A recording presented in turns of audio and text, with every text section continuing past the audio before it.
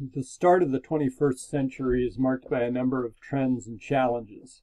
The growth of mobile computing, smartphones, social media, crowdsourcing, and cloud computing have transformed the way in which humans interact. These advancements have further enabled traditional geospatial technologies such as GIS and remote sensing to reveal patterns of resource use, climate change, and human impacts on Earth. Sustainability has become a guiding principle for governments, industry, and nonprofit organizations in recognition of dwindling resources, deforestation, species extinctions, ocean acidification, and a warming climate. The American Association of Geographers held its annual meeting in San Francisco in the last week of March and brought together geographers from around the globe addressing a wider range of topics, many of which touched on the theme of sustainability. The subject of water scarcity and water security was presented by eminent Caltech scientist Jay Famiglietti. Using NASA's GRACE satellite system, Changes in Earth's gravitational force allowed for detecting changes in surface and groundwater.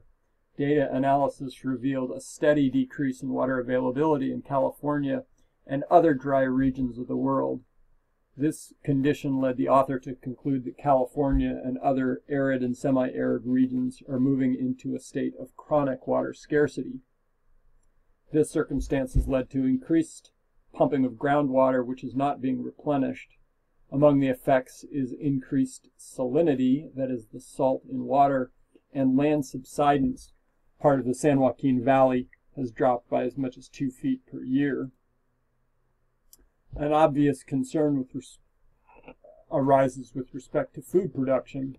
Agriculture is the largest single user of water in California, as it is in most places around the world. California is celebrated as the world's most productive agricultural region, but it has come at a cost. Moving into the future, there will be a need to reduce the amount of water used for growing crops and livestock.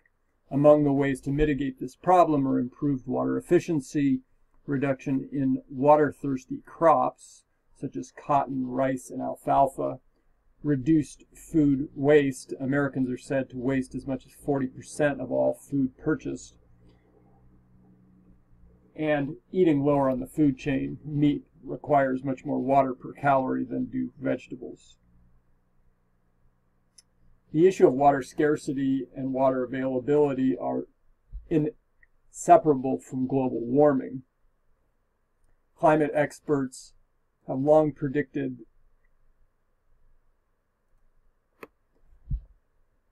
that global warming would lead to increased rainfall in the wetter parts of the globe, such as tropical rainforest and humid continental regions, and less rainfall in arid and semi-arid regions. This hypothesis is now supported with data on rainfall and temperature trends over the last decade.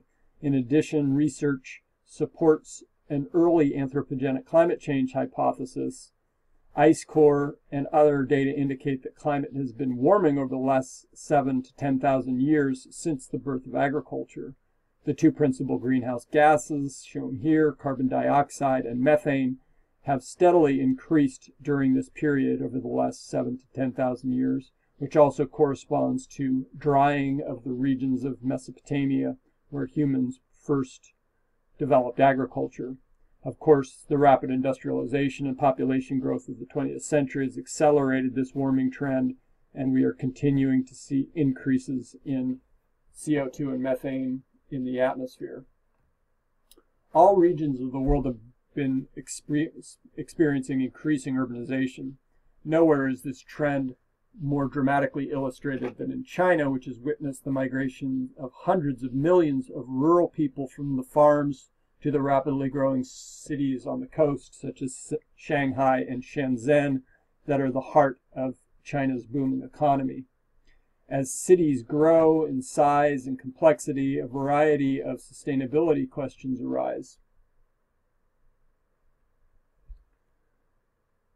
In general, city dwellers use less resources per capita than their rural counterparts. Improved water efficiency and reclamation has significantly reduced per capita water use, although water contamination is an issue uh, as reflected by the current crisis of lead poisoning in Flint, Michigan.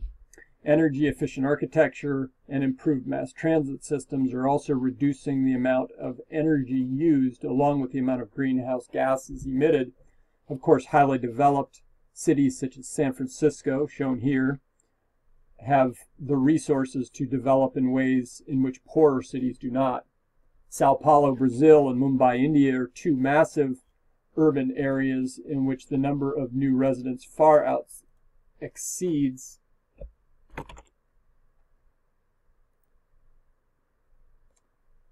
far exceeds the capacity to provide the adequate housing and related infrastructure. Such squatter settlements have produced some creative solutions to water, power, and sewage needs, but the challenges remain great. Cities have long grappled with how to deal with the urban poor, many of whom are recent immigrants. A recent book titled Territories of Poverty confronts the geography of poverty in a variety of contexts. The case is made that many city programs intended to alleviate poverty may actually perpetuate it. In particular, structural problems such as the political and economic systems are often not addressed. In wealthy cities such as San Francisco, the poor are often displaced, that is, pushed out, through a process of gentrification in which wealthier residents buy homes in poorer neighborhoods. In less developed places such as Sao Paulo, poor shanty towns, such as the one shown in the image, may be physically fenced off from more affluent areas. Urban areas are at the forefront of the technology revolution.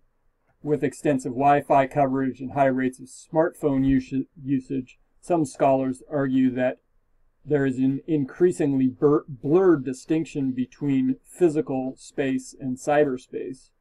This reality has enabled the social media revolution, but has also raised concerns about privacy.